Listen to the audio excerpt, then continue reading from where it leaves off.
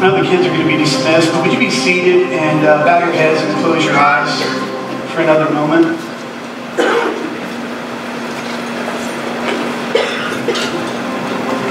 Sometimes in worship I stop singing and I just pray.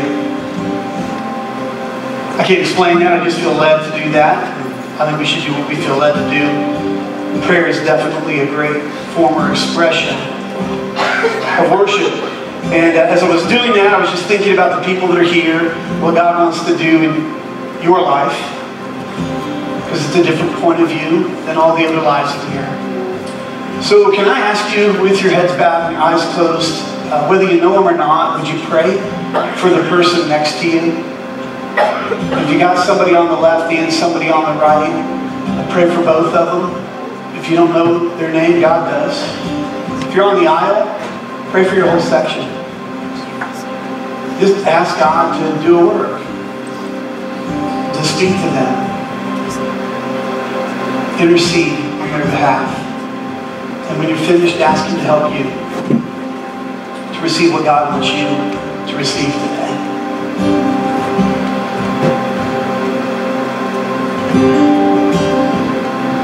God Almighty, I know that you have said through your Son, Jesus Christ, that we have free access to your throne of grace, not by our works or our holiness or our righteousness or anything that we have done, but because of what your Son, Jesus Christ, has done for us, we are allowed to come to you.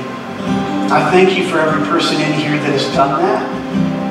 And I pray for each and every person that didn't.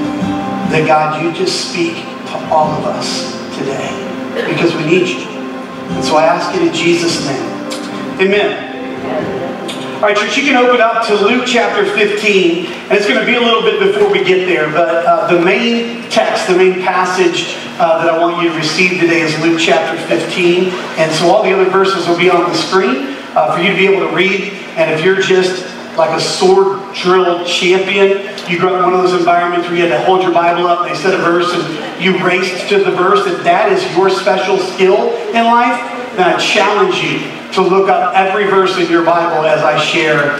But only sword drill champions have a chance at that. If you don't know what a sword drill champion is, um, you didn't have a proper upbringing. I'm just going to throw that at you. You can do whatever you want with that shade, but that, that's not on me, that's on your, your parents. Um, this next sermon series is something I'm fired up about, and, and, and these types of series for me are the most important ones. When we talk about who we are as a church, what we're supposed to be as a church, when we look at Legacy's DNA, uh, we're looking at a body's DNA. We're not looking at a building or an organization. That's not what we are. Legacy isn't this space and, and, and all of this that's in here. Legacy is all the people that belong to a body, a family. And uh, there are purposes that God has for us corporately, and all of those purposes you'll find in Scripture line up with individual purposes that He has for your life. And so it's huge when we go through them. So this series, Let's Grow Together, is going to be tracing through uh, some of these. And the first one we always end up talking about is found people find people. And so like five people amen that and everyone else is like, oh no, he's going to tell me to witness and I don't talk to other people about things and stuff. I just don't do that. But look, there's a lot of ways to be a found person that finds people. And I think probably the angle we take today will be completely new.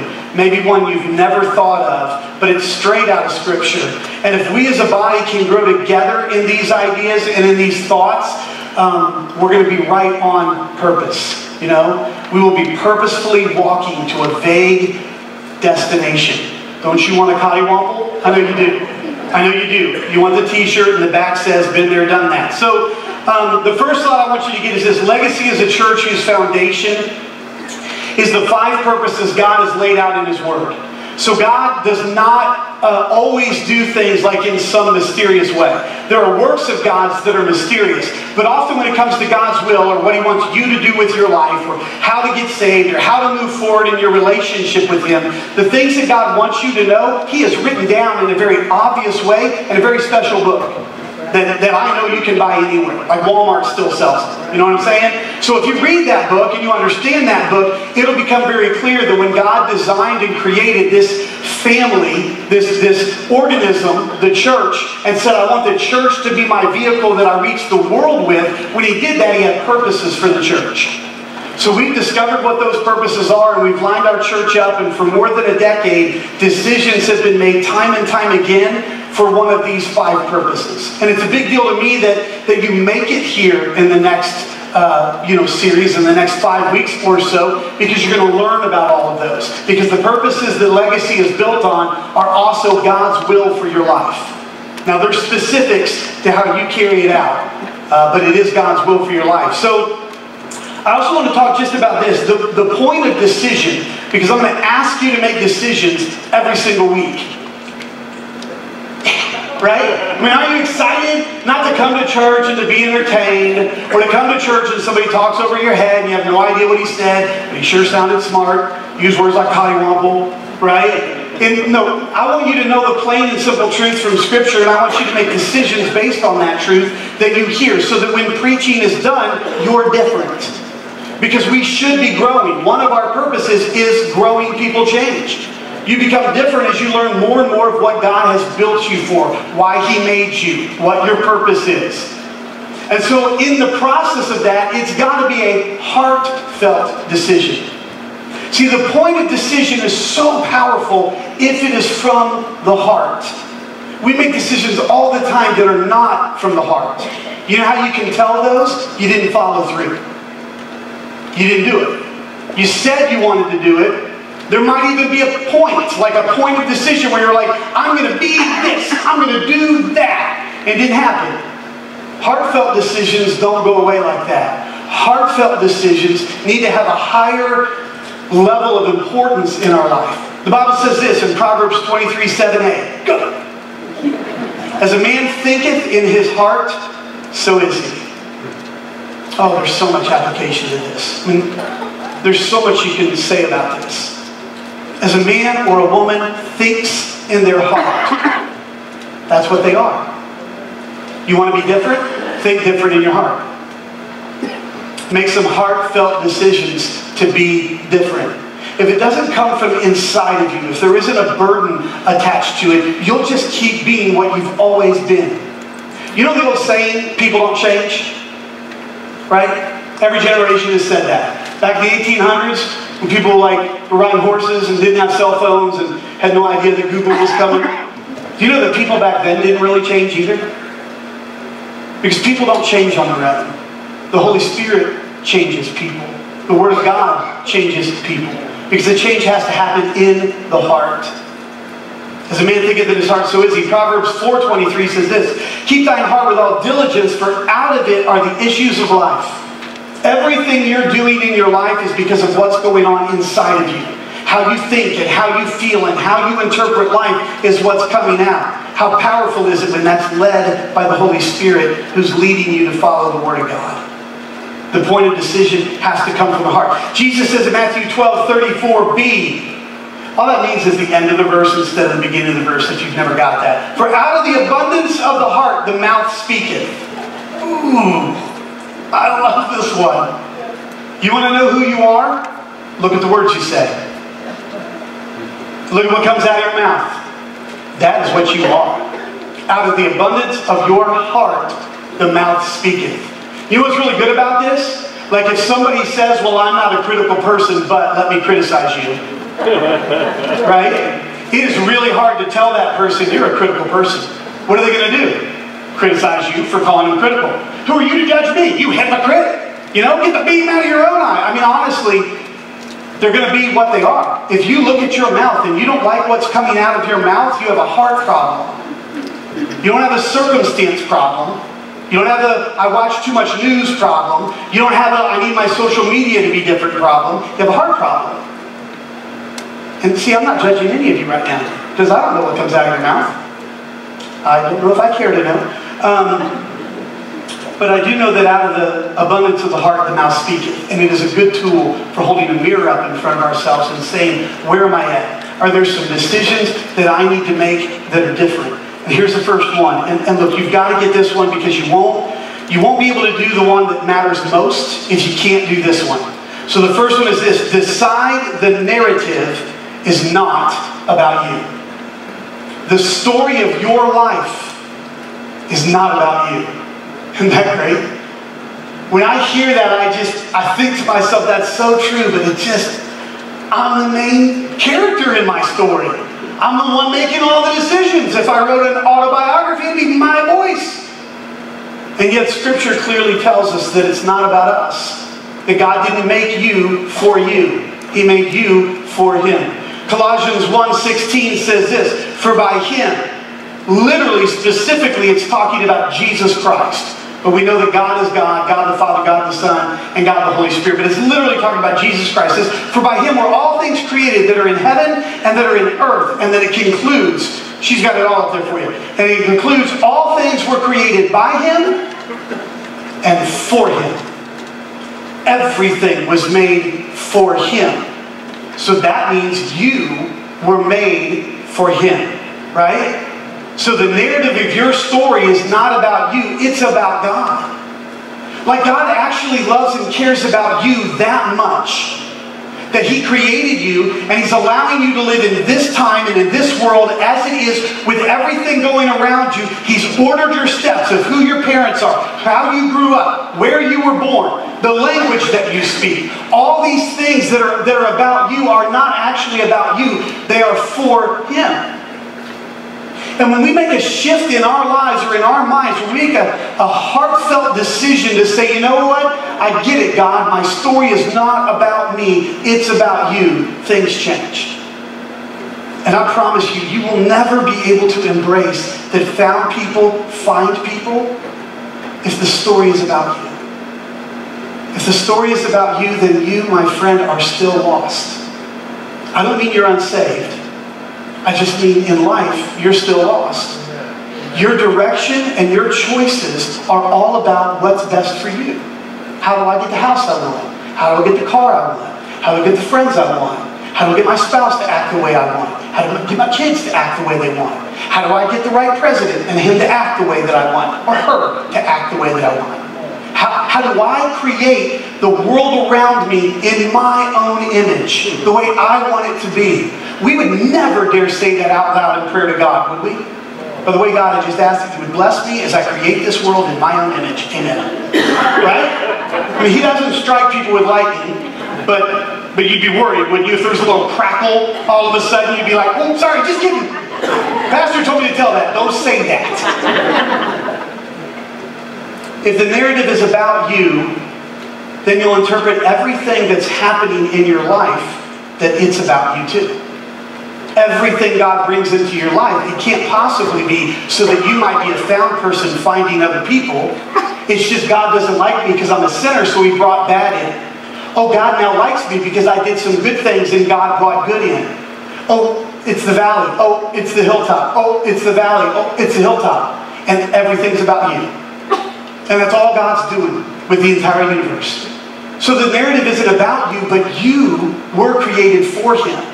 So he cares immensely about your life. And everything he's doing in your life is on purpose. God doesn't cottywomble. There's never a vague destination for him. He knows exactly where he wants you to go.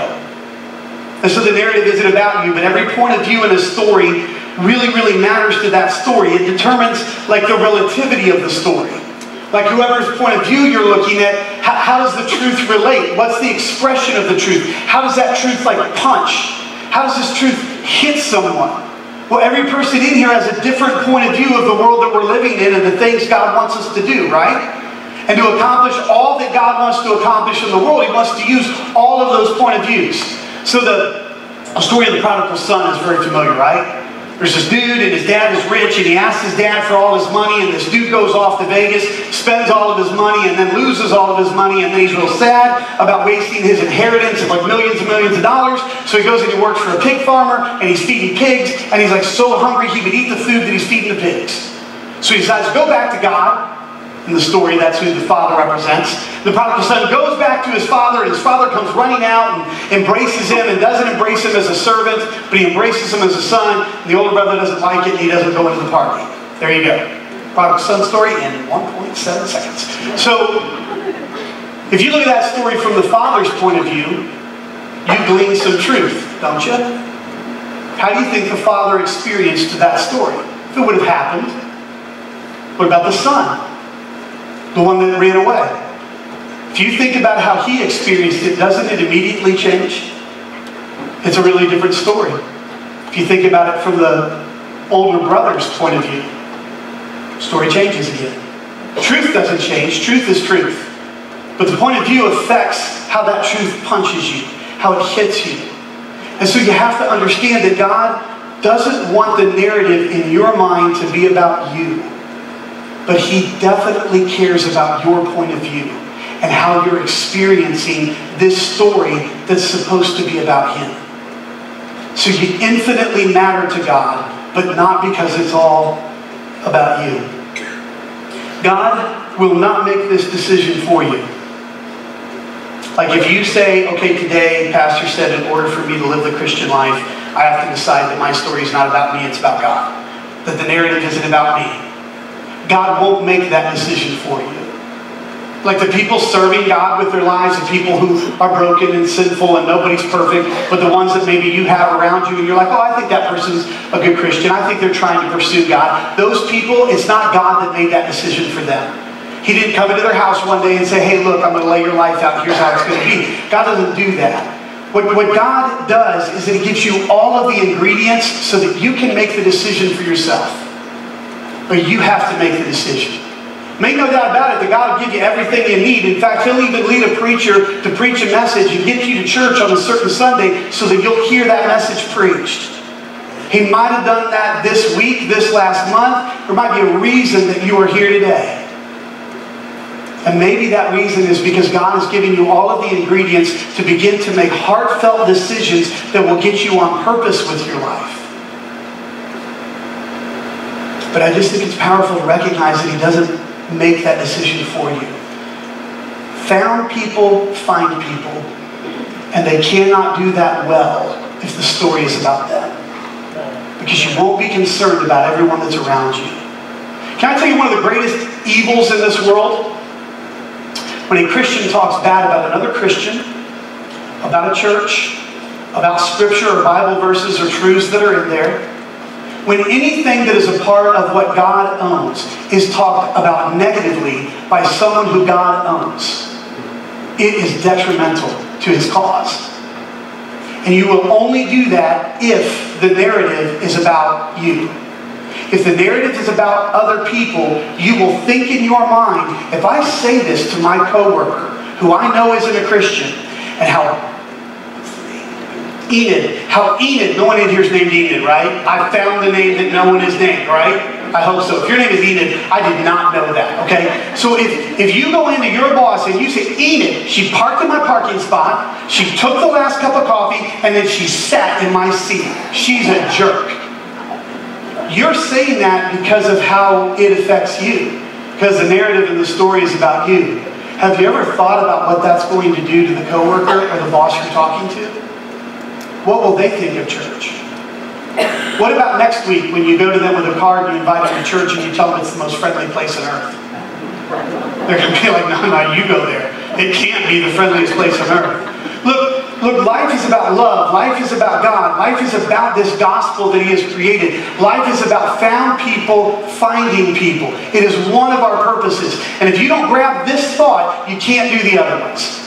If the narrative is about you, then these other points are not going to be something you can grab. So I really like to be uh, sophisticated in the way I challenge you. And I know sometimes I use words that you might not get. They're just maybe above your head because you're lesser in intelligence than me. So I work very hard to make sure I use those kinds of words because I'm all about me. So here's number. Somebody's going to watch just that clip on Facebook, and there's the thing's going to go off. I, that was total sarcasm. The church was laughing. Decision number two: decide never, decide to never stop flapping. I looked it up. Flapping is doing this. Ducks do it to fly. People do it and they just look weird like I just did. I really hope this sticks in your head. Look, the Bible says in Isaiah 40 and verse 31, It says, They that wait upon the Lord shall renew their strength. They shall mount up with wings as eagles. They shall run and not be weary. They shall walk and not faint. We like it when we're compared to eagles. We like it when that is summed up into our lives. Do you know how an eagle learns to fly?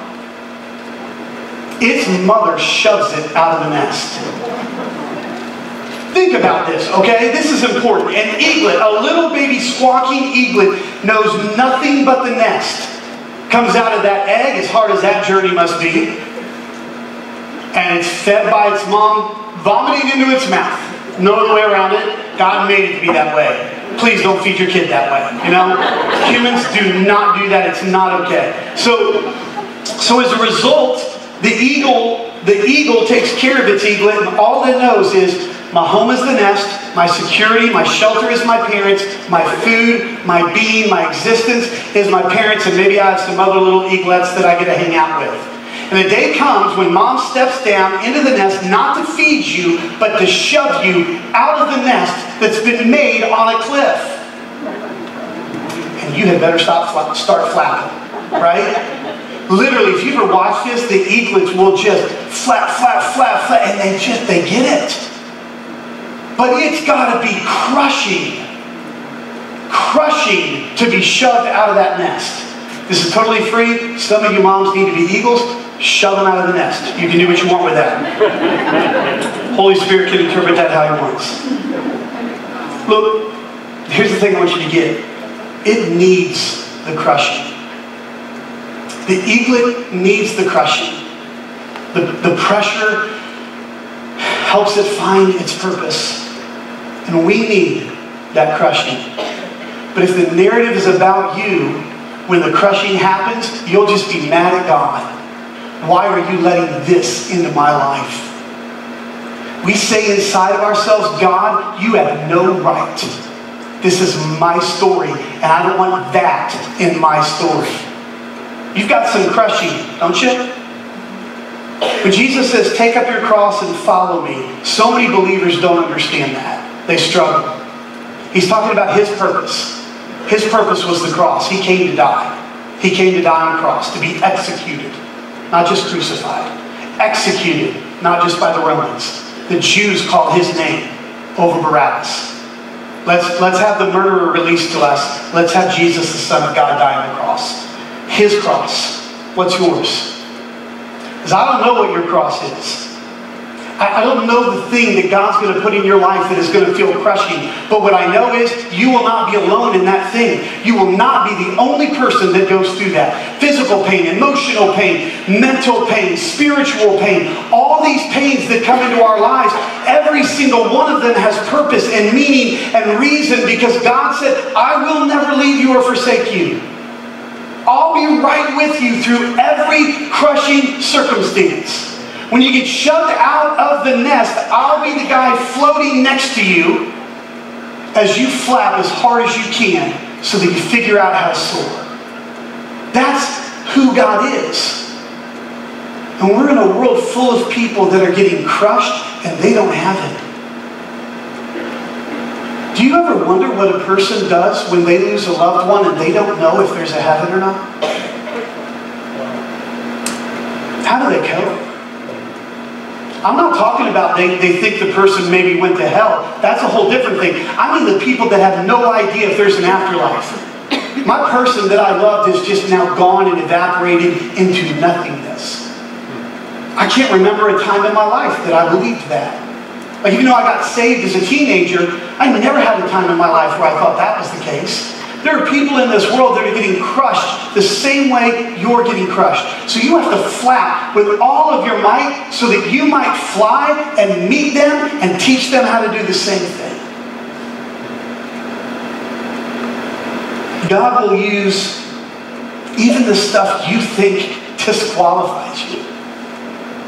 Like this, know, this one is just, it's, it's heartbreaking for me to think about, but we all have something in our life that's kind of disqualifying, don't we? Like if we took your life and we put it up on the screen, would you be allowed to stay at church? Would you stay at church?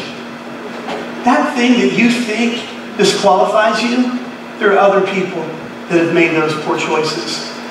There are other people that have stepped into it like you have. There are other people that feel like they're not enough and God can't possibly love them because they chose what they chose. And even in your weakness, God says, I am strong. He says, My strength is made perfect in your weakness. And the thing you might be trying to hide from the whole world might be the thing that lets you embrace this purpose that found people find people. They find them. I do not like the way my feet feel. When it rains, my pain just goes up.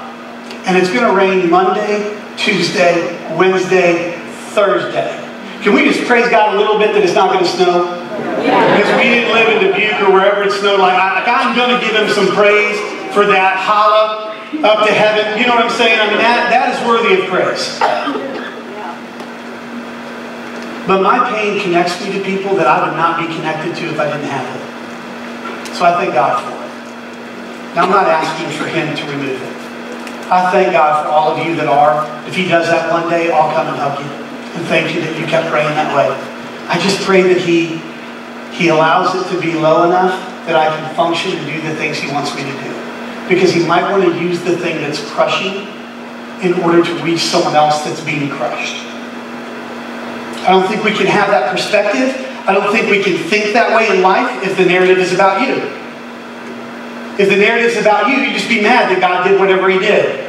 So if you're going to decide to never stop flapping, you first have to decide that the narrative is not about you. And then, if you'll make those decisions, you can make this last one. Decide that one more matters. Even if it's just one more, it matters. So, Luke 15, our main text that we finally got into. Jesus says this in verse 4. What man of you or woman, having a hundred sheep, if you lose one of them, doth not leave the ninety and nine in the wilderness and go after that which is lost until he find it? And when he hath found it, he layeth it on his shoulders, rejoicing.